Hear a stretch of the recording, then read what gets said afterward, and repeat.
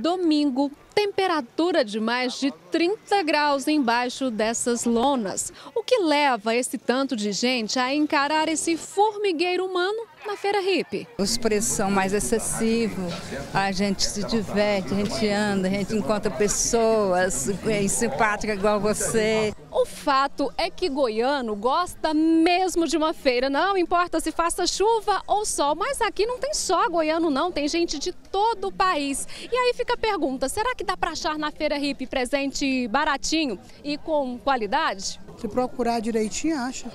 E os preços, como é que são? Bom. Tem preço, tem qualidade, tem muitas variedades bonitas aí. Em média você paga em quanto em cada peça? Ah, 35, 10, 5 reais. Então baratinho mesmo. É, a gente economiza bastante. Tem mesmo plaquinha com roupa por menos de 10 reais, conjunto de 15 e por aí vai.